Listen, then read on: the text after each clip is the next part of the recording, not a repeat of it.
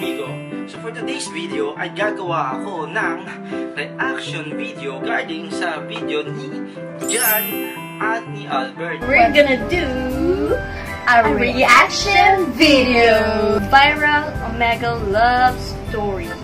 Nina Albert and John Rex. So magre-react tayo ng isang video. Kinikilig din ako sa kanilang dalawa. Ganda nilang tingnan dalawa. Kanina kasi, na habang nag-wifi ako, I watched that video tungkol sa Omegle.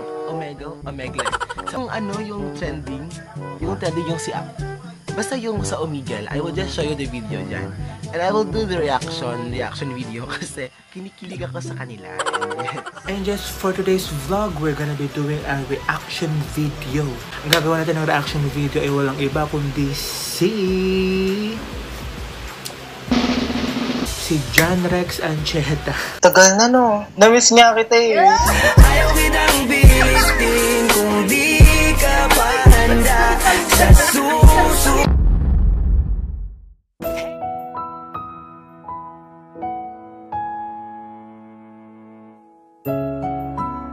Sabi ni Kian, lights on, lights off.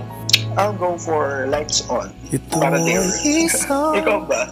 Silhouette lang. Kapag nahulog yung pinsan ko sa'yo, sasaluhin mo ba? For sure, oo.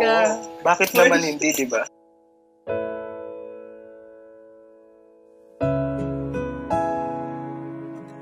Sige na, maglaro tayo. Ano lalaroin natin?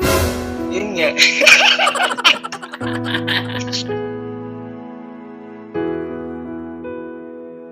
Oo nga.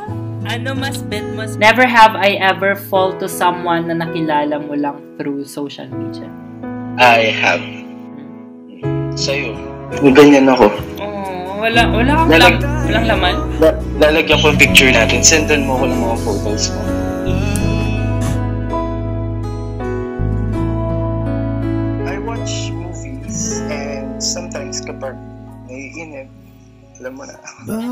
Bakit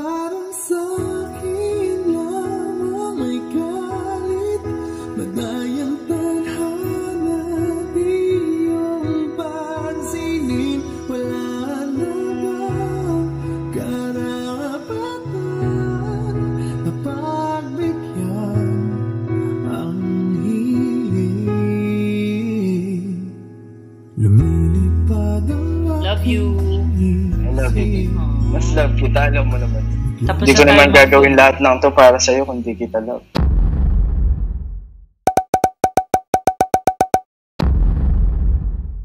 Hi mga kapakwan! Welcome back to my channel. For today's video, as you've seen the title, na sasagutin ko po lahat ng mga katanungan nyo about kay Albert, kung bakit na kami hindi nag-uusap, kung bakit wala na kami mga videos, kung bakit hindi na kami nagpaparamdam sa social medias, wala na kaming masyadong ina-update about sa aming dalawa. So, I am here to clarify everything and sagutin lahat ng mga yan. And sana in the end of this video, patuloy nyo pa rin kaming susuportahan ni Albert. Ang hinihiling ko lang sana by the end of this video din, as much as possible, gusto ko lang po makabasa ng mga positive feedbacks kasi alam yun, unprocessed pa lang kami sa mga nangyayari. Mag one month na po kami na hindi nag-uusap ni Albert. Yes, aaminin ko na nagtampo ako sa kanya, pero all is well na guys. Everything is good. May bagay lang na ikinagalit ko sa kanya, pero nagsorry na siya. Yun yung importante na nagsorry siya sa akin.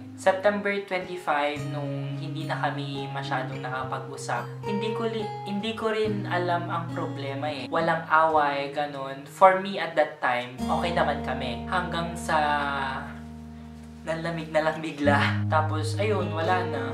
Parang namulto ata ako. Te, joke lang. Ganon talaga siguro. Yung hindi mo na namamalayan. Parang lumalayo yung loob nyo sa isa't isa. Unti-unti na rin na nawawalan yung communication ninyo. Hindi mo na lang alam kung paano or kung kailan nga ba nagsimula na bakit ganun na lang yung nangyari.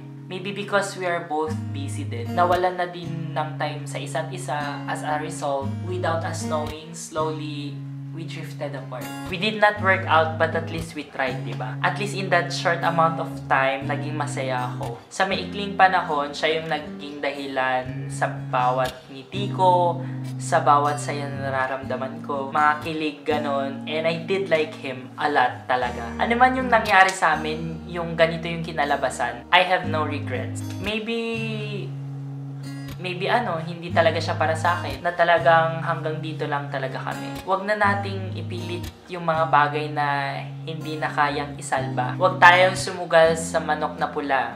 Matatalo lang tayo. Dechok lang. Huwag tayong sumugal sa mga bagay na alam natin na wala ng patutunguhan pa.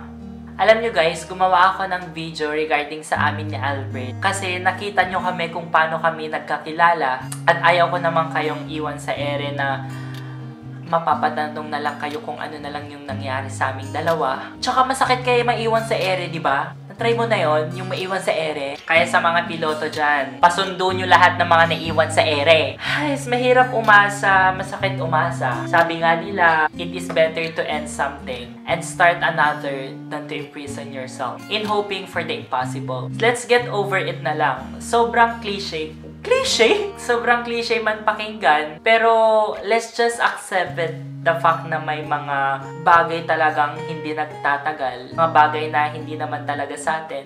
Nun. Mga bagay na hindi naman talaga sa atin. Mga pangyayari na ayaw naman talaga nating mangyari. Pero kailangan tanggapin. Sabi nga nila dito sa Canada, it is what it is. Kinilig man kayo sa amin, pero itong video na to, ito din yung wawasak sa mga puso ninyo mga kapakwan. Ha?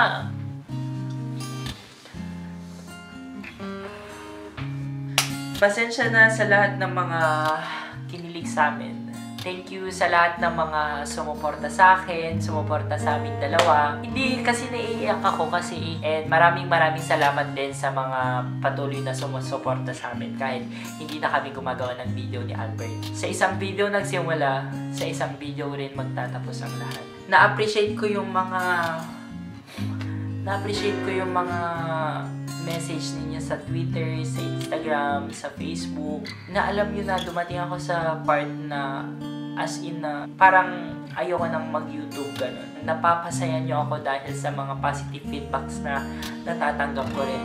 Gusto ko lang i-share sa inyo tong isang nag-message sa akin sa Twitter na sabi na parang it, depressed na siya na parang hindi niya na alam yung yung hindi na niya alam yung gagawin niya sa buhay kasi sobrang down na down na siya. Tapos, sabi, tapos nagpasalamat siya sa akin para kasi parang na-survive siya dahil sa video. Yo.